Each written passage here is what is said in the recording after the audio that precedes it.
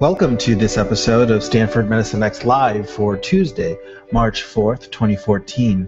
This program is a weekly live recorded broadcast and tweet chat from the organizers of Stanford Medicine X, a conference that explores the intersection of emerging technology and medicine. The views and opinions expressed on this broadcast are those of the individual participants and not necessarily those of the Stanford University School of Medicine or the conference organizers. If you are joining us for the first time, a quick reminder that there is a simultaneous conversation happening on Twitter right now using the hashtag MedX. Sarah Kucharski, otherwise known as Afternoon Napper, is the moderator of today's episode and will be taking questions from social media. So please make sure to start up your Twitter client to join in the online conversation and interact with today's speakers.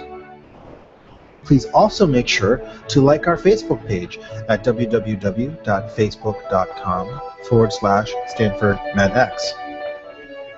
Please note you are watching a live online program and there is a delay between real-time events and the live stream that you are watching.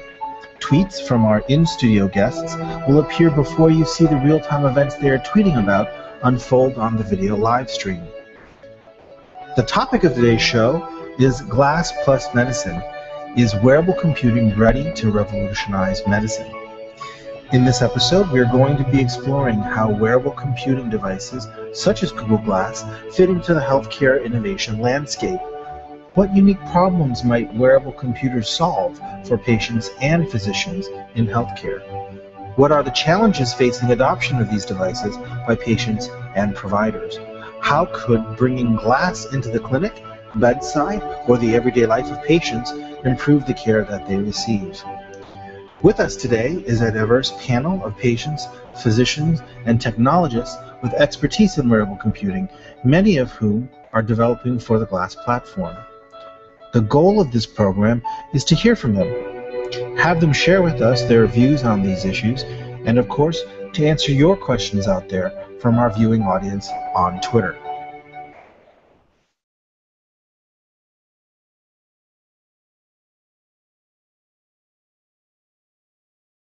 Tonight. It is uh, it is March 4th, and tonight we are uh, with a with a great group of folks talking about wearable devices in the care setting. Specifically, we're going to speak tonight a lot about Google Glass, and we're going to talk about uh, what's working, what uh, what we think about the the future and what it might hold for wearable devices like Google Glass, and we're going to talk about some of the pragmatic uses for maybe patients and uh, caregivers as well, and and uh, as well as maybe some of the taboo subjects, some of the things that. Um, that might make glass a little less practical for health. So we're really going to dig into all sides of this tonight.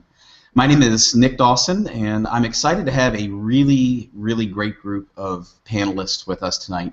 And I'm going to introduce them in order, and then we're going to jump right in.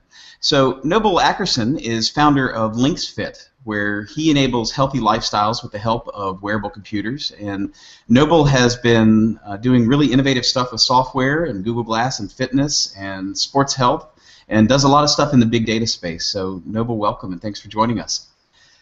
Rafael Grossmann is a general surgeon who specializes in trauma care and works with uh, excuse me, laparoscopic work and, uh, and Da Vinci and other surgical robot techniques. He's a MedX uh, faculty member and a TEDx speaker and a healthcare technology innovator. He's been a Google Glass explorer, and he and I were speaking earlier. Um, I remember when Dr. Grossmann presented at Doctors 2.0 last year and was a very early uh, Google Glass explorer.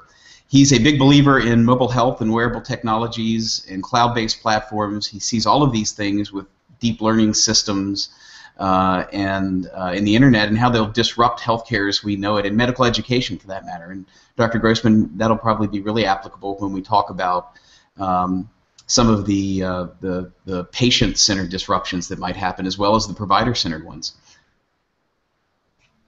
Great to uh, be Chris, here. Thank you very much. Glad you are. Christian Assad is a interventional cardiology fellow uh, at the University of Arkansas uh, uh, Medical Center. He is the CMO of uh, Perens, and, and, I might be mispronouncing that. We'll get you to weigh in here in a minute, Dr. Assad. Um, coordinator. He's a coordinator of medical innovation and technology at the Institute of Technology at Monterrey, Mexico, and the editor and curator of Singularity University's Exponential uh, uh, Exponential Medicine e-magazine and social network. And you know maybe uh, that idea of some of Singularity's work uh, will come into play as well. So we're glad uh, glad you're joining us tonight. Thank you. Oliver. Oliver uh, Aalami is a uh, vascular surgeon at Stanford and a co-founder of Vital Medicals, whose vision is a uh, Google Now-like experience for the peri- perioperative arena. So if you know about Google Now and its heads-up display and those cards and that kind of always-on information, uh, that's the kinds of things he's working on. Thank you very much. Pierre, Glad to be here. Glad you're here. Uh, Pierre Theodore is a cardiac uh, surgeon and the Van Auken Endowed Chair of Thoracic Surgery at UCSF Medical Center. He's the founder of uh, the Parnassus Medical Health IT firm dedicated to creating collaborative networks for clinicians involved in multidisciplinary care. And that's a mouthful, but it's certainly the kinds of things that Medicine X uh, is highly aligned with. We love the idea of multidisciplinary care. Um, and it's involved uh, uh, uh in a variety of efforts to apply technology to pressing problems in modern healthcare locally and globally. So, uh, Pierre, when we get into maybe some of the socioeconomic questions, um, it sounds like that'll be right up your alley. So, thank you for joining us. Thanks for having me.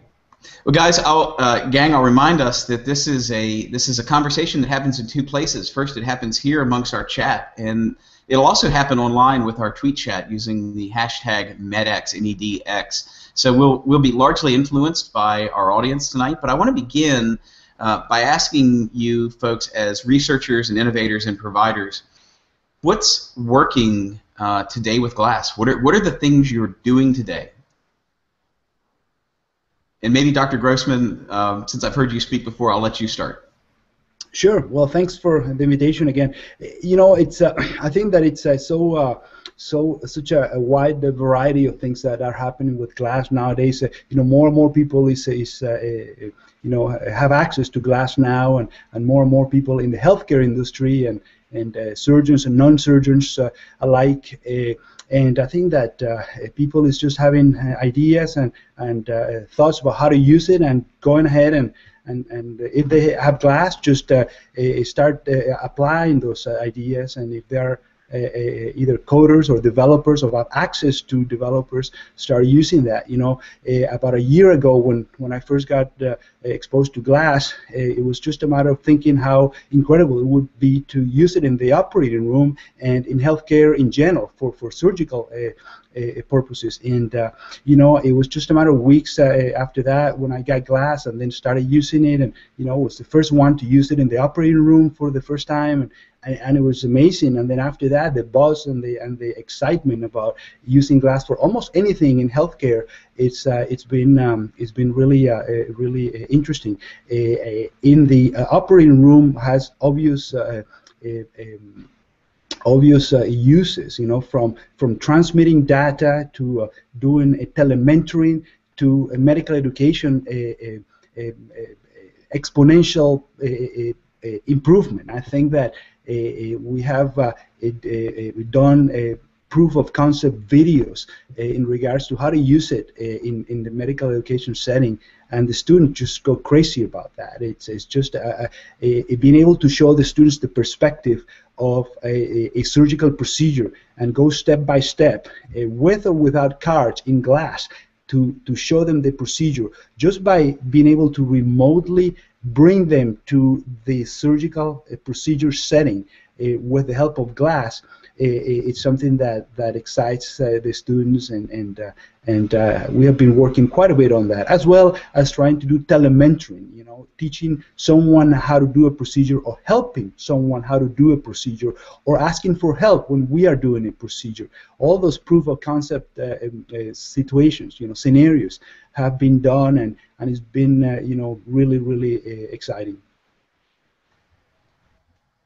Noble, um, I, wonder in your work with LynxFit, um, when I hear Dr. Grossmann talk about um, medical education, what are the kind of what are the applicabilities you're seeing uh, for telementoring, maybe maybe wider than just medical education? Yeah, from my work, uh, I'm approaching um, the stuff from the outpatient's perspective, and and we are, you know, essentially helping uh, these um, patients uh, get better, uh, and and while allowing their physical therapists uh, to track uh, their progress to health in real time, and obviously give them real live human motivation, even if they might be halfway across the world. I think it's it's extremely powerful when you know, unlike what we have now, where you have know, a doctor or physical therapist give a piece of paper to an outpatient or email them details as to what to do in order, in the case of cardiac arrest, uh, cardiac um, rehab, in order to get back uh, from a heart attack. Um, what we're doing, you know, equips the patient with a device and um, a library of content specific uh, to their recovery and uh, using the sensors available in the wearable device, we are sort of, um, you, know, you know, using a little bit of artificial intelligence to, to help coach them, but they always have that human support, uh, you know, behind in their sales, right, to, to help them, you know, cross that threshold when, when they wake up and, and things are harder than normal. Oliver, how's the um, how's the Google Now like interface working today? What do you so, what do you see happening? Yeah, that's that's that's the big vision. Um, you know, I think, you know, I love the comments from Rafael and Noble um, both, and really everyone's still exploring and, you know, through the daily uh, experiences, coming up with areas that we feel like we need to work on. I mean, for me, it just so happens that in my environment, um, when I'm doing angiograms in IR, we don't have enough vital sign monitors um, around the room, and it's often the case that the nurse has to leave the room um, to the go to the Pyxis machine to get medication in order to um, you know just to medicate the patient. And so there are there are many instances when no one's really looking at the patient's uh, vital signs. Um, and so for for me, for us, it was it was important to get the vital signs streamed to glass. That seemed like an a useful thing. And so that's an integration we are able to do. The Google Now part is way down the road. We think uh, glass is going to be through the low energy Bluetooth and the um, iBeacon that's built in. It's not enabled yet, but hopefully with the next version of Android uh, that they release, it'll be enabled. You can do crazy things where you can walk through the ICU and just get the data that's pertinent to your routine. You know, when, when I start a case, I have a routine. I want to see my last note. I want to see the imaging. I want to see the labs, uh, the most recent labs, and that's just my routine. And I could build that in and just walk in and know that this is Joe Smith, and and these are the things that um, I'd like to see. Um, so it's really a big vision, um, but um, there are a lot of interesting things. You know, getting pages. What what really I think is going to be incredible. You know how mobile has changed uh, the world for everybody. Well, bringing mobile to the OR, to the operating uh, operative field, is is pretty unique. Um, you know, getting pages to glass, for example, um, it's so common. So often nurses don't want to answer your pages, and they could be important. And I, and often the residents are having to beg for the uh, nurses to call back. So there are a lot of great use cases. You know, um, you know, I want to I want to take a minute and um, ask for our, our audience forgiveness. I, have not done a great job as a moderator. In fact, I was thinking today. I actually had a doctor's appointment today and had to had to stop my uh, doctor twice and say, "Can you tell me how to spell that?" Um, because I'm not clinical, and there are a lot of times that I think that that especially for those of us that are kind of inside on something, we can forget that there's a whole group of people who don't have that same experience. And we've got a lot of folks tuning in right now who have that. That's a good analogy. Who, in this case, it's not because they're not clinical; they've never seen glass, they've never used it. We've got to remember that we're we're a small niche group here. So I'm wondering if somebody would be willing to take us back to the start and explain. Um, it kind of very fundamentally, what is glass? What does it look like? What's the experience like? Absolutely, I, I love to pitch in if uh, people don't mind. I, I what I usually tell people is uh, that uh, a glass is uh, like having a smartphone in front of your eye. It doesn't uh, uh, obstruct your vision, but it's really basically a, a, smartphone in front of your eye. It's a small glass cube that has a very small screen, but it's the equivalent of a 28, 28 inch screen is seen from six to eight feet away, and it has the ability to take pictures a, a video, establish a video call, a text someone, call someone, tweet someone, read the New York Times, Google something, plus a, a, whole bunch of all new apps which are being developed right now, from from translating text to to uh, to uh, um, you know uh, geolocating and help you you know uh, drive around to fitness apps like like the one Noble has developed to to a myriad of other things. uh, all by pretty much voice activation and maybe a slide, uh, a, you know, a, a, swap on the on the frame of the glass. So uh, I would think that that summarizes Google Glass pretty pretty good. Pierre, um, you you wanted to jump in here?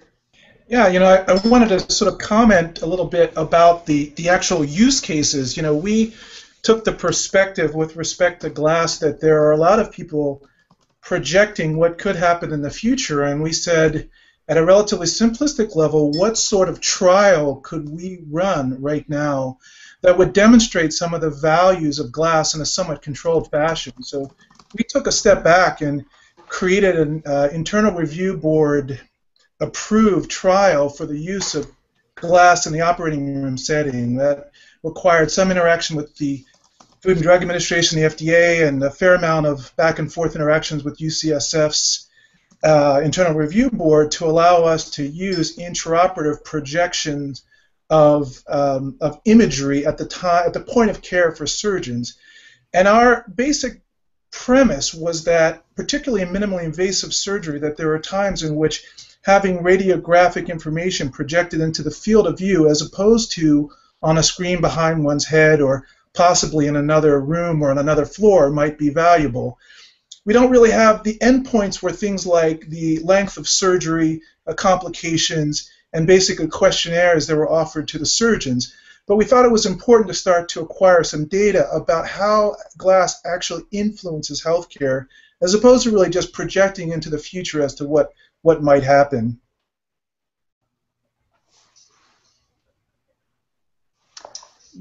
Christian?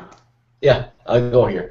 So I, I wanted to mention two things, and it's when people ask me about glass, it's I think there's two ways that it can be used. And uh, the first one is straight out of the box.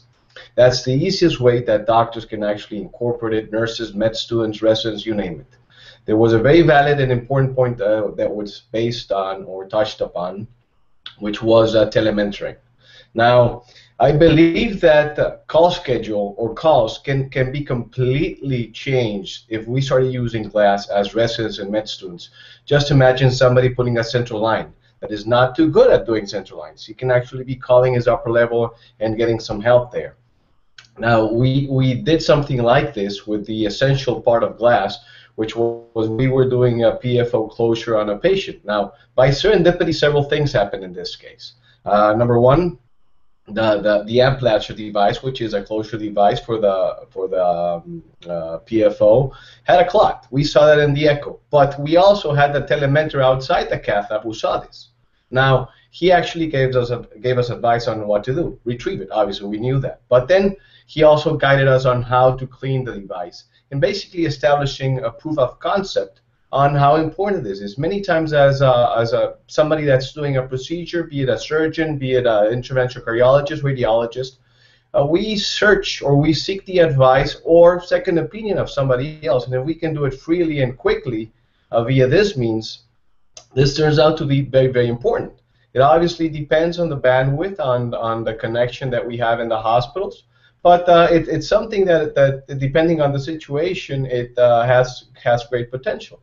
Uh, transmitting it for uh, a, a, live audience. This was also a very interesting perspective where 1,500 people recently were seeing what we were doing in the cath lab with a CoreValve, and, and they were very, very intrigued because they were in the first person view. So for education and telementoring, asking the advice of an expert in, in some other remote place on Earth, um, instead of him having to fly and spending money and time and whatever, I mean, this, this makes uh, things much quicker.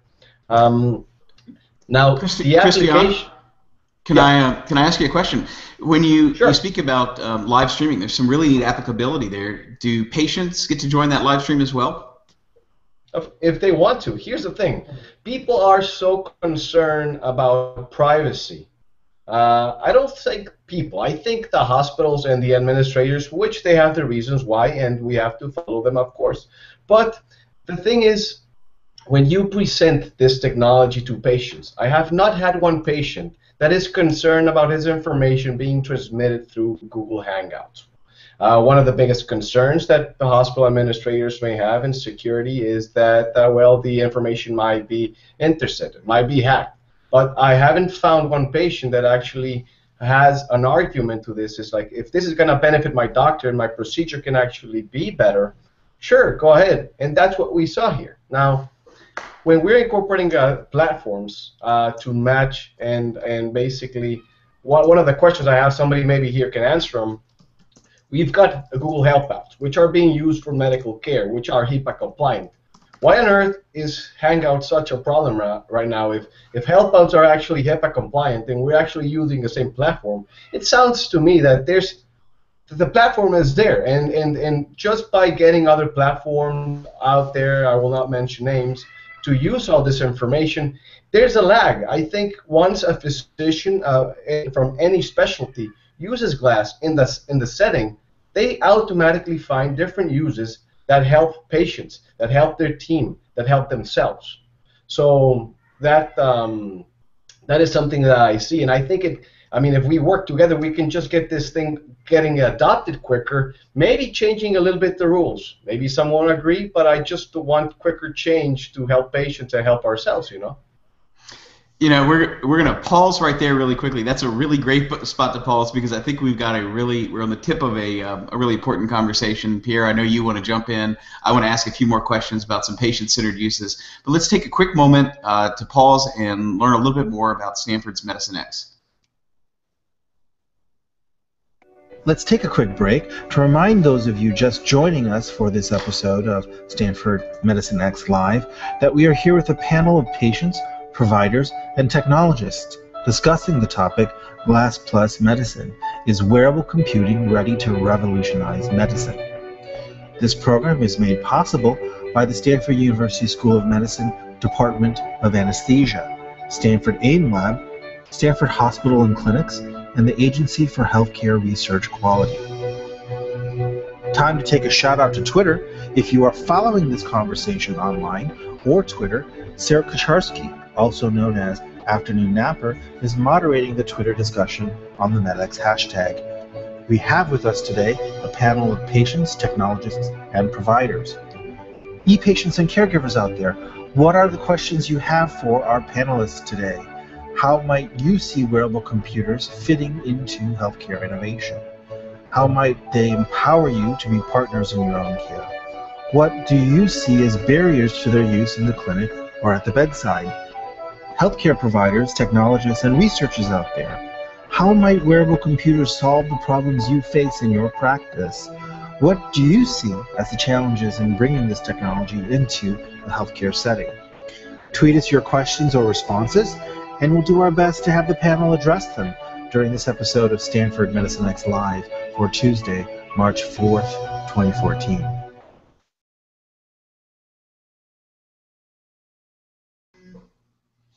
Welcome back. We are uh, live with Stanford Medicine X talking about Google Glass and its applicability for providers, for patients, for researchers, for innovators, for designers, all in the healthcare setting. Uh, just a few minutes ago, we were talking about that idea of live streaming, and we were we were discussing how it benefits uh, physicians and providers who want to learn and train with each other. We were also talking about how patients might use it. And Pierre, I know you wanted to weigh in on um, telementoring. I'd love to get your take on that. Yeah, you know, it's really more of a question for the panel as much as, as it is a statement, but is to, you know, take note of the fact that miniaturized head-mounted cameras, certainly in surgery and in any interventional procedure, has in one way or another been around for the better part of three decades. And so you could argue that the fact that it's on a newer device and maybe more widely available, but even the quality of Google Glass's camera apparatus is inferior to many that are available elsewhere, and yet that hasn't taken root in a widespread fashion in healthcare. So if you look at the Google Glass as having you know two essential functions, one where it's actually taking in videographic uh, and photographic data on the one hand, on the other hand, you're projecting data to the user. My my basic belief is that the projection of the data to the user is considerably more revolutionary than it is than using the camera function. And I guess I would wonder if we've had the technology for so many decades and it hasn't taken root. What's us? What's to make us believe that the glass itself will somehow revolutionize telementoring or projecting these images around the world? You know, Pierre, if I could jump in for a sec, I think uh, you're absolutely right. Uh, what's unique about Glass is, though, again, that it's connected. It's connected, and you have access to all the data that you described um, previously, depending on how you set it up and what your use case is. Um, so I think that's where it's really unique, um, where you could get, you know, really like a Google Now type experience where you could get um, pertinent data depending on where you are in, in the hospital, um, who you're next to. Uh, that's the potential, and that's what I think is exciting.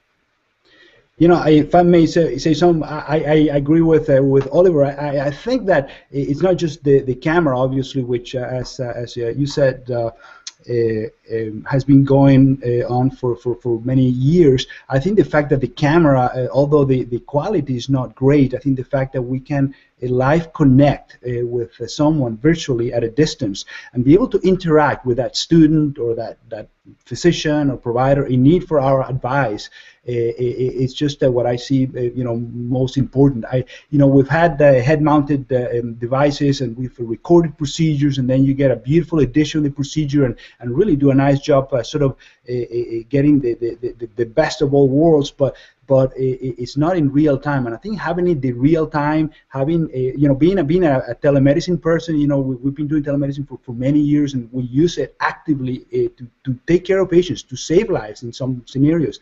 Uh, having that ability with glass.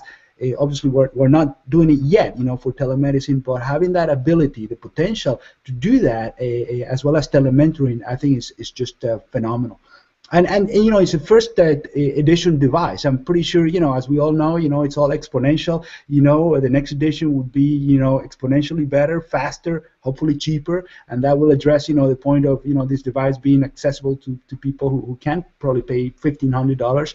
So I think that the next edition you know will have so much uh, so many improvements that uh, will be all surprised. I think one of the biggest um, perks about glass, obviously, the camera is, is, as you say, it's inferior to what's been out there for a while now.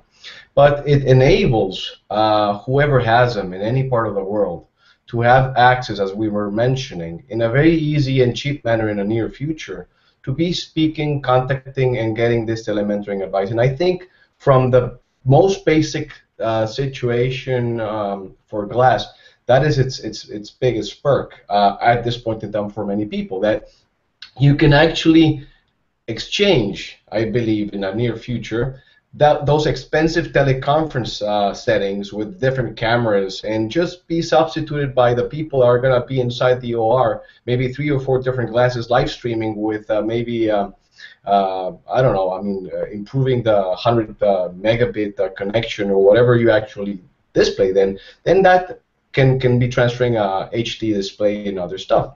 Now, obviously, what you were what Pierre was mentioning, having the images in front of you, that's crucial.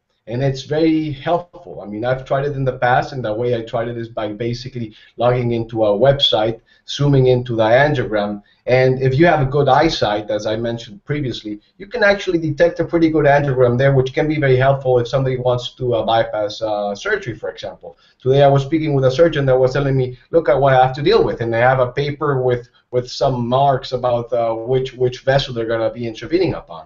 So the platform for the user in which he's going to be able to see uh, the, the medical record maybe some of you have it. Uh, I don't, and I think it's it's it's great, but it's going to take some time. And obviously, that for us is is also going to be tremendously uh, helpful, as as Pierre mentioned.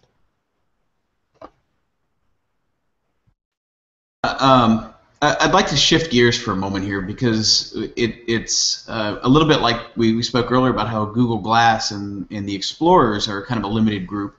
Um, being a provider is kind of a limited group. And so let's talk for a moment, if we can, about um, some patient uses and maybe maybe kind of general uh, lay layperson, public, uh, and ordinary people uses, for lack of a, um, a better term. So. Noble, I know that's a space you're working in. I'm wondering if you can help us start that discussion. What are some uses for um, for the rest of us? Day you. Oh, sorry. So thanks for unmuting me. So I forgot I was muted. Uh, again, uh, for for the everyday user, um, we find that uh, on a daily basis, uh, according to the CEA, I mean we're spending over a billion dollars uh, projected this year alone on wearable devices, and and we tend to sort of opt for you know apps instead of paying the seventy five dollars an hour for the personal trainer. Uh, you know, um, and and also obviously going to the gym and, and finding uh, out that the equipment is too confusing to use. So for the everyday person, you know, there's a huge opportunity to leverage uh, the sensors available in these wearable devices in order to deliver, uh, in the case of Google Glass, a, a more immersive fitness experience wherever the person uh, might be. Uh, as long as they have an internet connection, uh, in some cases, they they have a personal fitness companion at their side. in the case of medicine, they have their physician at their side um, at any point in time, and that's pretty challenging. and and in some of my work, uh, you know, recognizing that we're not replacing a personal trainer is, is very important, uh, but just sort of enabling that personal trainer to, or that uh, physical therapist or, or, um, or coach, you know, to connect uh, with their with their student or with their patient, uh, and through the magic of uh, internet connectivity and the camera, as we talked about in the previous segment, uh, connect with that student and, and, you know sort of help them achieve whatever goal uh, they're they're uh, they're they're trying to achieve. I, I want to push. I want to push this a little more, and um, Oliver, maybe we can come back to you in just a minute. Um, Rafael, with your surgical patients, um, is, is, there a? Can you imagine a, uh, a patient use? Maybe maybe watching something before surgery, experiencing a live surgery that they might then have a week later to, for some education. Um, I don't know. Put your thinking cap on. What do you see? Absolutely, I you know that's another scenario that I've uh, uh, described a little bit in in one of my posts. Uh, you know, I have a healthcare blog that that uh, is about this sort of innovation technology and healthcare topics. And uh, yeah, you know, having patients, I, I, use iPads frequently with my patients, showing them uh, um, um, either with apps or with uh, just a plain internet, uh, you know, the, the anatomy or 3D um, um, um, graphics of uh, the procedure we're going to do, trying to do interaction with them and the digital world in order to, to have them understand better the procedure we're doing. But uh, doing that with glass and having them, uh, uh, you know, maybe use glass to see what I'm explaining uh, or to interact with me even remotely uh, in regards to what we are planning to do, I think is certainly a, a clear and doable possibility. But more than that, you know, having the patient or the patient's relative. You know, imagine again we, we do a lot of telemedicine. Imagine a patient, a, you know, mom watching the the kids, uh, you know, uh, first, uh, you know, minutes of surgery, or, or during the surgery, or the wake up, or having a kid with glass, you know, looking at mom, you know, when he's going to sleep, or, or how that, I mean, the, the creativity is really the limit to what we can do with a device like this, I think. Those are those are great uh, comments, and I agree. But I think there's also, uh, I mean, Pierre mentioned earlier the potential for research uh, using glass, and if you intersect, you know, a patient wearing glass who's just had a CABG, going through rehab with uh, research, and you know, you've got amazing opportunities where you can see, you know, people, you know, you can kind of track are the patients actually performing their rehab uh, exercises, and if so, um, is that meaningful, and how meaningful, and how important is it? Are the results better? So there's amazing, uh, amazing potential for patients uh, to be tracked post-surgery or even to see um, if um, if the results were uh, were good or not. Yeah, the event. I'm sorry to sort of jump in here. The that's a very very good point, and uh, Oliver, and actually sort of branches into sort of a big data sort of mindset uh, when you start thinking en masse.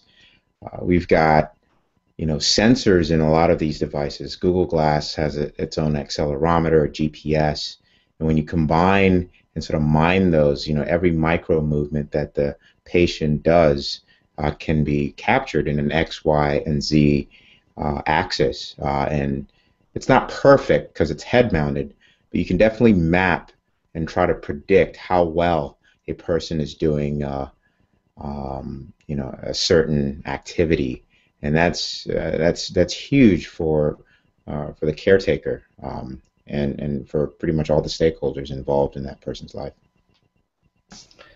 Now, something that I see also happening is right now we have these sensors, but uh, just in a couple of months we are seeing how earphones are now able to detect your pulse. Uh, some even give you a, a reading like um, the AliveCor is doing to a certain extent. Uh, pulse oximeter, thermometer, or temperature. Now this incorporated to the to the um, sensors that uh, Noel was mentioning. I mean, we are opening a new realm for patient monitoring and doing the right thing in a preventive uh, manner. Now, initially, I think one of the biggest things uh, here is the augmented reality that glass gives you, and hopefully making the exercise far more exciting than it used to uh, used to be. Some people don't like running. Now there's people uh, creating an application which is zombie chase. Uh, that can also be helping or whatever it motivates to a different individual. But if you if you see this now, kids have a reason why to go outside again and play laser tag with their Google Glass. I mean, some people are not too fond of giving them technology at such an early age, but this is the world we live in, and I believe this technology can be used to create the games for these guys to get really healthy in a very enjoyable manner, which I would be more than glad to use. So those are things that can help a patient. Also, once at the end of the conversation that you're having with the patient, you tell them, this is the three points that you should take. This is what we're doing, and these are the medications that we're changing. Instead of getting the phone, which can be cumbersome, he can be recording or making a list, like uh, the application that uh, Rafael has. It, it just depends. Once the patients start using them, they'll find more uses to it, more and more things that they want to modify. And I think that's the beauty of it that um, we as doctors and we as patients we're figuring out. Yeah. Here's a, let me throw this out. Um, how would how would anybody feel if if I was a patient and I came to your clinic or your office wearing glass and said, "Can I record the visit?"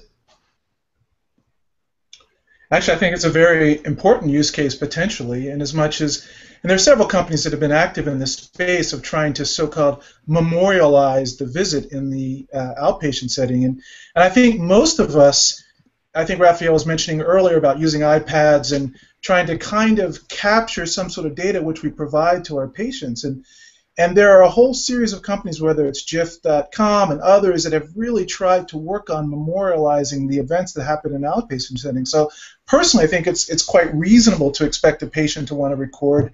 And I, now, granted, I'm at UCSF, where the patients may be a little bit forward-thinking, perhaps, but I would say 20% of my patients, in some manner or another, will record.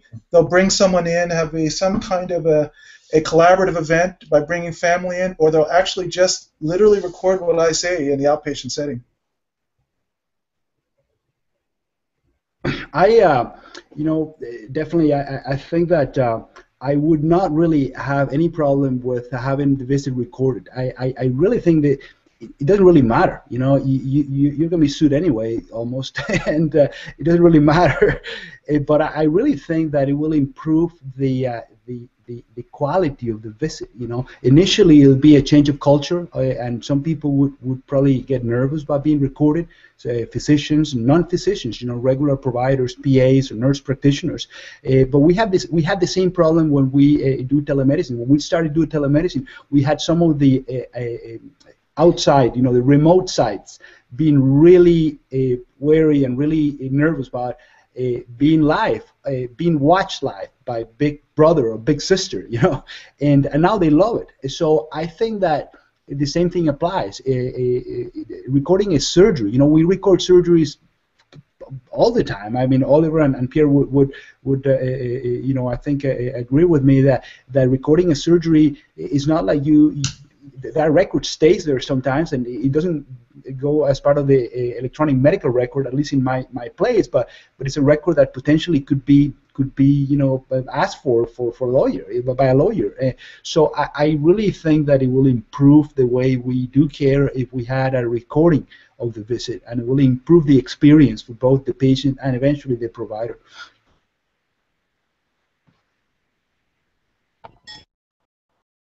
I have a, a, pretty, and this is a great, uh, great question, Nick. I mean, uh, my wife and I are expecting uh, this summer, and obviously, as a, a brand new father, I have, um, I've had a lot to learn. So, in this example, I am the patient that goes into the um, into the, the the nurse's office with uh, my Google Glass device and I ask permission uh, to capture the, uh, the words of wisdom that they may impart here and there, obviously, in order to record it and take it home and digest it so I don't miss anything. Uh, there are a lot of details, as uh, some of you fathers might already uh, know, and and so that that that's sort of how I sort of approach that. Um, also, um, you know, sort of go, you know, taking the patient, the outpatient, sort of going home and being able to sort of keep track of their prescriptions, uh, to be able to uh, to go through their life and sort of get wellness tips and, and, and the like. Maybe a subscription to some sort of informational service that is relevant to them. I mean, we talked about iBeacons.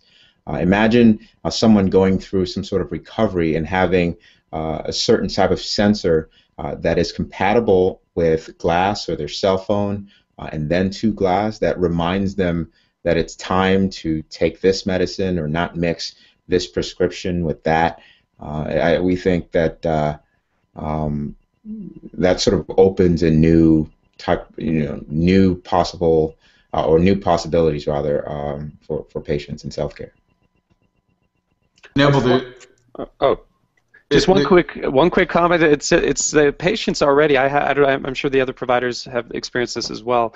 Patients are already, at least family members, are always coming in with uh, recorders, or often, because they want to be able to, again, tell tell the details of the visit to other family members, brothers, sisters, uncles, aunts that may have some or want to help make you know important decisions for the family members. That was it. So I, I think this is good. It's Glass is going to enable this even more, which I think is great. Noble, there's also been um, uh, some suggestions that maybe you live stream the birth, and we could do that as one of these Medicine X hangouts. And know, I, I, think we're probably totally for this idea. But I, I want to ask, um, I, I want to ask us to again. I'm, i want to challenge the the uh, dialogue a little bit here because we've gone from talking about some very provider-centered uses, which are really avant-garde and neat, in the in the telementoring and the ed medical education field, and we talked a little bit about um, the ways that providers and patients and patients and providers, depending on kind of who uh, owns the relationship, can interact with each other. What about what about patients totally on their own? What about self care? What about patients helping each other? What about um, support groups? Anybody have either some examples or uh, some thoughts about this? Uh, Christian, what what comes to mind for you? The first thing that comes to mind was my daughter, and here's the thing: my the first time my wife lets my daughter with me and um, to take care of her, I, I take her to a pool. She's um, an hour away, my wife, and she falls. She opens her chin, and I'm like, for the love of God, she not not five minutes had gone by. I don't consider my, myself a bad father, but that happened. So um, here's the thing, my my sequence my sequence here was take it to the ER it's gonna be a wait there. It's gonna be a nightmare. She's gonna get scared. I don't have uh, a way to drive my kid who's crying, bleeding at that point in time. And I had some Dermabond, which is basically fancy super glue, at my place. so I take my kid. I, I mean, it's a very simple thing. Wash, put a little bit Dermabond, and just put it over and close it. This is something that anybody can do. Uh, this is not something that um, I consider, um, I mean, like top-notch surgery anything. It's something simple. We do it. Uh, I'm, I'm originally from Mexico, so maybe somebody here is gonna say something about it. But uh, it's it's something that I believe that can help a lot of people avoid unnecessary ER costs and it could be actually be live streamed uh, or uh, a tu tutorial video in class in which it guides the parent how to do that uh, that particular step. It's it's very simple, and and same thing could apply for um, other reasons. Oh, Noble is also mentioning about uh, CPR glass, which uh, we're working upon. Um, and what what this does is is an example of this. For somebody that does not know how to do uh, CPR, proper CPR. They put on glass, and what happens here is, first of all, the staying alive music comes up. Why staying alive? Because it guides you with a 100 rate per minute compression rate. Now, uh, with Lucien Engelen, we actually we merged CPR glass, and we have the largest AED database uh, at this point in time merged with glass. The whole point of this is for you when you're giving the compressions that you know where the nearest defibrillator is. In addition, calling 911, which is still not activated. We're actively working on that before uh, unnecessary um, calls happen. But all those are applications, tutorials, videos that can help people at a particular point uh, in time to give uh, life-saving CPR or a simple uh, avoidance of a, a stitch and a three-hour wait in the emergency department. I I like to, to comment a little bit on the on the patient's perspective and the potential uses. Also, you know, we, we do have a, a lot of patients, uh, uh, all, all, medical providers, but maybe more so uh, surgeons. Uh, we, we have patients who who have chronic wounds, for example, uh, or chronic uh, drains or tubes that they have to take care of at home, and having glass to be able to connect with the provider remotely it would really improve uh, not just their experience but the care of, of, their own problems or any relatives problems for example patients who have a, a wound that, that needs to travel to the doctor's office to have a five minute check to see what the wound is looking like eh, so that that you know there uh, there can be a decision on, on changing care or, or finishing care or whatnot. If that could be done with glass, I think glass it would the benefit would be that, that you're giving a, a, a real a eyesight perspective of, of the wound, a, a, and then you're connected in real time with a provider, you know, eh, virtually that can be anywhere. so I think that that's a, a potential use. You know, patients who have feeding tubes, for example, tubes to, to get nutrition, you know, tubes in their stomach, and uh, those tubes, uh, many times they get dislodged and uh, some patients and uh, or some relatives might be there uh, enough to, to just uh, if they have enough guidance in a live setting, you know, from someone who has the expertise, they'd be able to just replace that tube or, or, or whatnot without having to go to the ER and wait for three hours and get charged a, a several hundred dollar bill. So I think that's uh, that's another potential use that that it's it's imminent to, to, to happen. Rafael, maybe I could jump in right after that, just to dovetail with respect to global medicine projects. Is that you know the World Health Organization has estimated within the next 20 years there's going to be roughly a 14 million person deficit in healthcare providers globally. And so the fact is that there are many community health workers who really have roughly about a high school or maybe first year of college sort of level of education, relatively mo- moderately educated. And this group of community health workers, in fact, faces roughly 2 billion of the world's population. So the potential to have tools that can actually, if you will, kind of communicate back to actual skilled healthcare workers is truly a potential groundbreaking advance for low-cost wearable devices. So I do think that there are there are versions of what you you described that can address true global pain points that exist because of the lack of adequate providers around the globe. Absolutely, I agree 100%. Uh, we, we've got a neat question uh, from Philip Jeffrey via Twitter who asks Could Google Glass be useful in helping uh, lab technicians, maybe phlebotomists as well, um, find difficult to see veins during uh, a blood draw? And I, I want to spin that a little bit.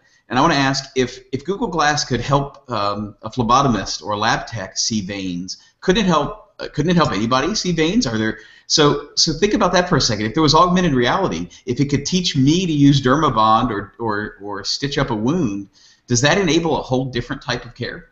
Noble, uh, maybe you want to jump in.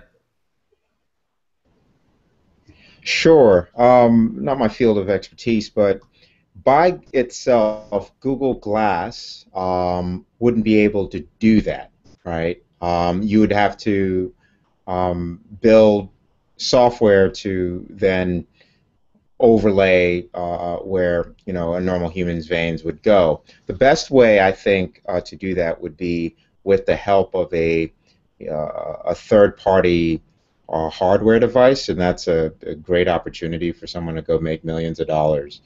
Uh, and you will be able to get more accurate, you know, by actually physically scanning uh, the person's um, vein or area.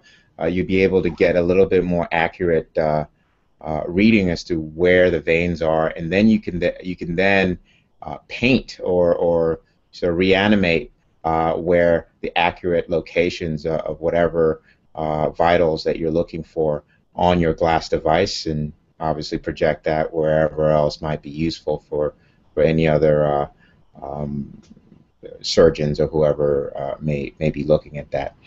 but you know, right out of the box, no. Uh, I think third-party software and a third-party hardware device might be uh, the best uh, the best bet there.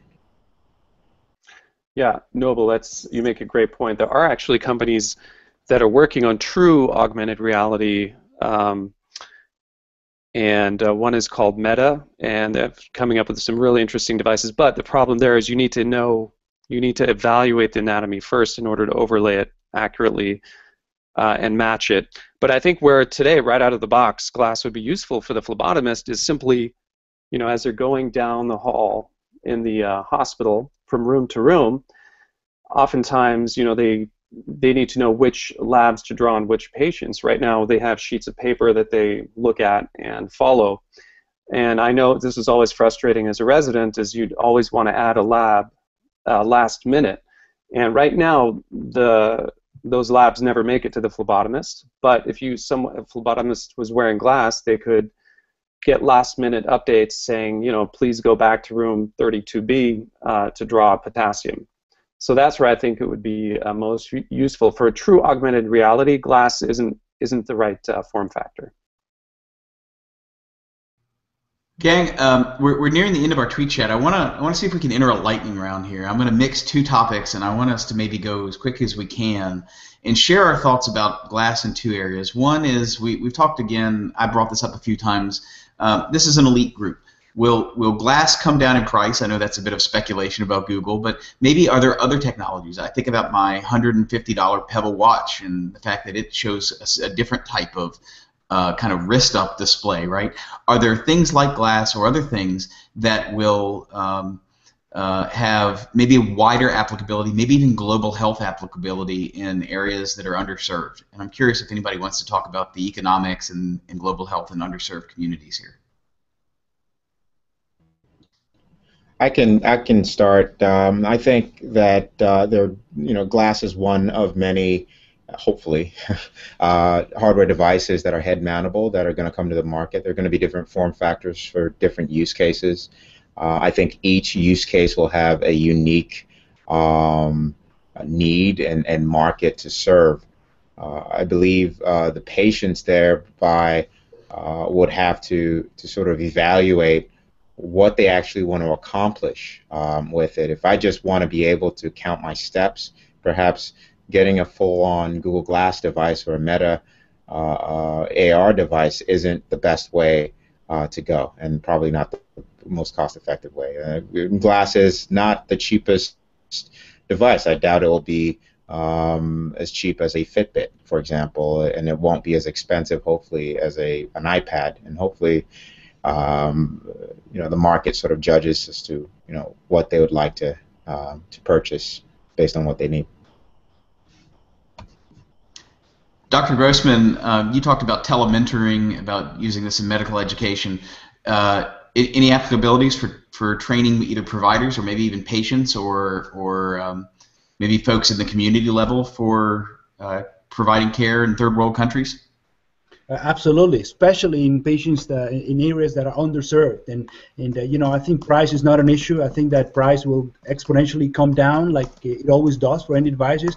I really think that the Google Glass or any other similar device, like Noble was saying, uh, you know, uh, Glass is really the natural evolution of the computing device, where we had big computers to PCs to laptops to tablets to watches to smartphones and now to wearable devices in the form of, of Meta or Glass or whatnot. So I think that it'll be common to use this platform as the platform to connect, and especially in areas that, that need the connectivity to improve communication, to improve connectivity with uh, areas that have expertise. I absolutely uh, think that that's the future for that uh, sort of areas, you know, to be able to, to get the, the care and the education that they need. Um, well, I mean, I think they, they touched on an important points, but the, the way I see it is, is as follows. And we are entering the wearable era. Uh, we're going to be, if you just see the Consumer Electronics Show, uh, this year, 155,000 attendees. 40% of the display was for digital health. Sensors are growing. We are seeing AliveCor. We're seeing the EyeNetra from MIT, which gives you optometric uh, results for $5.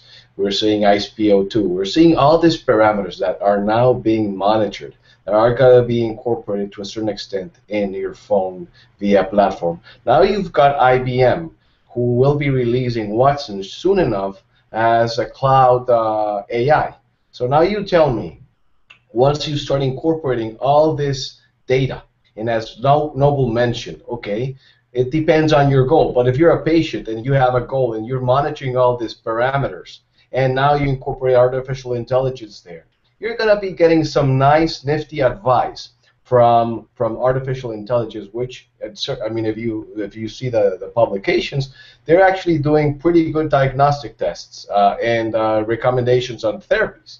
So when you start incorporating everything and you go to third world countries, this is going to have tremendous potential on care on on people, and I'm very excited to see what's what's going to be happening. And once we get uh, uh, minds um, excited in this way and working on it, it's going to be, uh, I think it's going to be a very interesting future. You know, I just wanted to comment that um, one of the largest projected costs in healthcare in the 21st century, ironically, it's not congestive heart failure, it's not diabetes, it's not orthopedic care, oncology. It actually lies in cognitive decline and dementia in the 21st century. And I think you're going to see certainly wearable technologies, whether they're going to be uh, head mounted or not, remains to be seen. But we certainly will see the wearables trying to crack into that phase of life in which we try to maintain the elderly in an independent fashion before they actually require uh, dependency and institutionalization. That is a very large cost, and I hope that uh, the wearables themselves will make a significant dent in that part of our healthcare expenditures in the U.S. We, we have had a great conversation tonight, guys. I think we've only begun to scratch the surface of this. I'd suggest this is the kinds of things we talk about at Medicine X, everybody ought to come out to Stanford in September. We ought to continue this dialogue. We ought to think of more patient-centered uses, community uses, provider uses. Uh, Noble Ackerson, Rafael Grossmann, Christian Assad, um, Oliver Aalami, and Pierre Theodore, thank you for joining us tonight. We're out of time. We'll see you guys next Tuesday. We'll see you this Thursday for the next episode of, uh, of Stanford's class, and next Tuesday for the Hangout. Thanks, everybody. Thank you. Thanks Thank so you. much Right there. for joining us tonight for this episode of Stanford MedX Live. We'll see you back here on March 11th, 2014 at 5.30 p.m. when we'll discuss the topic Design and the Patient Experience, moderated by Lisa Bernstein, with a panel of healthcare designers as well as patients and providers interested in design that include Katie McCurdy, Nick Dawson, Britt Johnson, and Kyra Bobinet. You won't want to miss this next episode of Stanford Medicine X Live. As a reminder, Stanford MedX Live is made possible by support from the Stanford University School of Medicine Department of Anesthesia, Stanford AIM Lab, Stanford Hospital and Clinics, and the Agency for Healthcare Research Quality. If you haven't yet done so, please take a moment to like our Facebook page at www.facebook.com forward slash Stanford MedX so you can continue the conversation online and stay informed of program updates. From all of us here at Stanford Medicine X, we want to thank you for joining us today and remind you to join us again this Thursday, March 6th at 6 p.m. Pacific Standard Time for another edition of Stanford MedX Live featuring a new patient engagement design class from the Stanford University School of Medicine called Engage and Empower Me. This week, we're featuring Chris Hogg, Rick Valencia, and Ernesto Ramirez, along with e-patient speaker and moderator Hugo Campos. And the topic of the class is going to be on self-tracking for behavior change. For all of you out there taking time to tune in with us tonight, thank you so much for joining us and being part of the conversation. A special thanks to our guest panelists this evening. And from all of us at Stanford Medicine X, we'll see you next time.